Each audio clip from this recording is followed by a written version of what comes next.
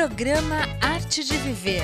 Apoio SICOM, Sindicato dos Condomínios Prediais do Litoral Paulista, a mão amiga no momento certo. E Santini Ortomolecular, terapia de reposição de oligoelementos via derme para o seu equilíbrio físico, emocional e metabólico.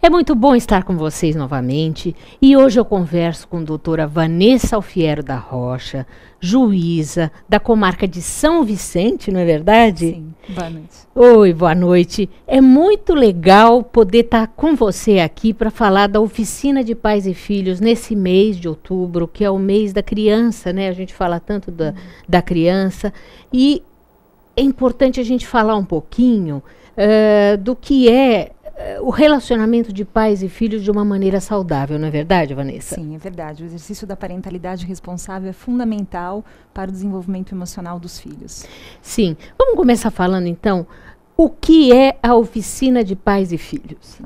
A Oficina da Parentalidade do Divórcio, ou Oficina de Pais e Filhos, é um programa educacional interdisciplinar que foi desenvolvido pelo Conselho Nacional de Justiça, voltado para as famílias que enfrentam uma fase de reorganização familiar por conta da separação dos pais, visando ajudar a todos os seus integrantes a se adaptarem a essa nova fase de suas vidas sem maiores traumas, principalmente para os filhos. Eu quero mostrar para vocês, né? A Vanessa Olha que coisa bárbara. Vamos ver se eu consigo aqui pegar, né? Tem as duas cartilhas. Conta um pouquinho como é que surgiram essas cartilhas. Sim, as cartilhas fazem parte do projeto da Oficina da Parentalidade e elas contêm vários esclarecimentos importantes para os pais e para os filhos uhum. conseguirem uh, se adaptar a essa nova fase de suas vidas. Uhum. Então, essas cartilhas são distribuídas para aqueles que participam da oficina, uhum. para que eles levem para casa conhecimentos mais aprofundados a respeito do exercício da parentalidade. Agora, Vanessa, é, fala para gente, ela, ela existe desde quando, né? A oficina da parentalidade, tal como concebida pelo Conselho Nacional de Justiça, existe desde uhum. 2013, mas a educação parental já vem sendo desenvolvida no nosso país através de algumas outras iniciativas desde 2007.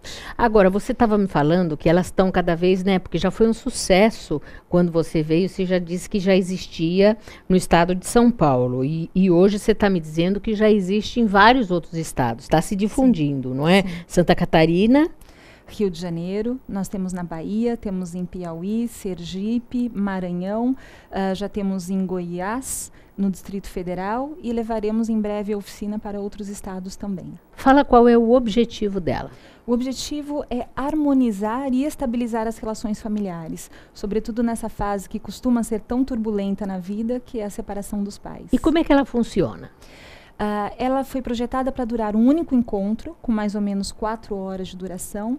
E nesta oficina, cerca de 20 famílias que enfrentam algum conflito jurídico relacionado à ruptura do relacionamento dos pais uh, são encaminhadas para a oficina.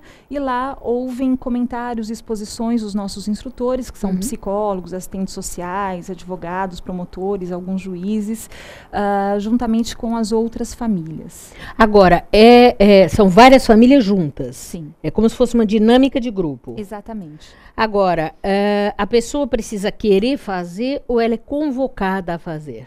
ela é convidada para participar da oficina. E durante o convite nós informamos a esses familiares como hum. esta oficina é imprescindível para que todos uh, se ajustem à separação. E por conta dos benefícios da oficina, a maioria acaba aderindo ao programa.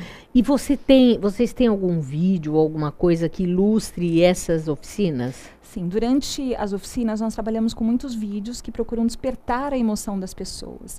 Isso porque, conforme a neurociência revela, quando a informação é transmitida com a emoção, a informação é mais facilmente captada pelas pessoas. Então nós nos valemos desses vídeos justamente para despertar essas emoções. Então nós vamos mostrar para vocês um, um vídeo falando um pouquinho disso, mostrando um pouquinho disso. Roda o VT. Tragédia. Uma tragédia? Como assim? A minha tartaruguinha morreu. Ai, credo, Bruno. Isso é uma tragédia? Não me assusta à toa. Ai, não acredito que você vai chorar por causa disso. Eu já falei que homem não chora, depois eu compro outra. Eu não quero outra. Eu quero minha tartaruguinha. Eu quero aquela. Ah, então eu não posso fazer nada.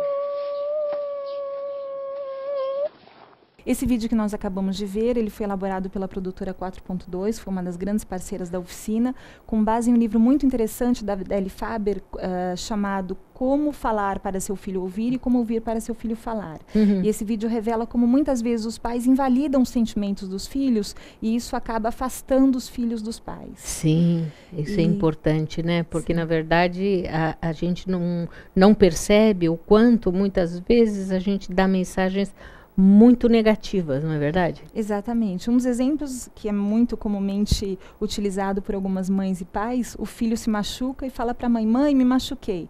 Primeira reação da mãe: "Filho, isso não foi nada". Isso. E o filho fica totalmente perdido e confuso, porque ele sentiu que realmente houve alguma uhum. coisa. Então nós ensinamos aos pais, mostramos para os pais como eles podem ter uma, uma empatia maior com os filhos uhum. e validar esses sentimentos. E isso faz toda a diferença no relacionamento entre pais e filhos, como a gente verifica através do outro vídeo, uh, que foi elaborado com base na mesma cena, mas com desfecho um pouco diferente. Então, vamos assistir esse outro vídeo. Roda o VT. Mamãe, mamãe, aconteceu uma grande tragédia, mas tartaruguinha tá, tá cheia, morreu. Ai, filho, não acredito, que triste. Eu brincava todo dia com ela. É, eu sei, filho, é triste quando a gente perde um amigo, né? Ela era minha melhor amiga. É, eu sei, filho, mas o que importa é que o que vocês passaram juntos está guardado aqui, tá? É verdade. Então, esses vídeos revelam justamente o propósito da oficina, que é transformar aquela primeira cena na segunda cena, para que o relacionamento entre pais e filhos seja cada vez mais harmônico. Foi muito legal, porque eu acho que a gente consegue perceber a diferença, né? O que uh, uma mensagem falada de uma forma diferente pode realmente fazer a diferença. Sim, com pequenas atitudes geram mudanças muito grandes e significativas. Significativas. Vamos falar mais no nosso próximo bloco. Ouça agora uma dica do Dr. Rubens Moscatelli, presidente do Sindicato dos Condomínios Prediais do Litoral Paulista. Rubens, hoje eu gostaria que você falasse da utilização de vagas de garagem por parentes, visitantes. visitantes. Quando que isso é possível? É, Mônica, esse é um dos problemas mais sérios dentro de condomínio, principalmente aqueles condomínios que não têm vaga suficiente para todo mundo, é, para todas as unidades. É, o que a legislação determina é que a prioridade se dê para as pessoas que residem no condomínio, sejam elas inquilinas ou proprietárias. Mas nada impede que isso, como foi feita a, pergunta, possa ocorrer. Quer dizer, o parente que vem de uma outra cidade ou um visitante, desde que a convenção permita e haja a quantidade suficiente de vagas. Quer dizer, não é que, ah, eu sou a senhorinha do apartamento número tal, vai vir meu netinho e ela tem que ter a preferência. Não é assim. Na verdade, tem que ter a disponibilidade, não haver a proibição na convenção e a pessoa que vier vai ter que se submeter a quando chegar é, entrar nesse rodízio. Tendo vaga, ela coloca, não tendo, ela também não vai colocar. Entendi. É uma coisa que é possível desde que isso esteja previsto. Então. Isso tem que ser muito bem negociado e, e, e, as pessoas têm que se conscientizar. Por exemplo, quando vai alugar o apartamento, o direito à vaga é diferente da vaga definida. Uhum. Então essas coisas as pessoas têm que consultar, principalmente o sindicato, para estabelecer as diferenças, né? Uhum. Porque é muito técnico e às vezes dá muita confusão por conta dessas situações que são de uma maneira mais facilmente resolvidas com a conversa. Uhum. Muito importante esse esclarecimento. Até o próximo programa. Até, Mônica. Nós vamos para um rápido intervalo, não saia daí.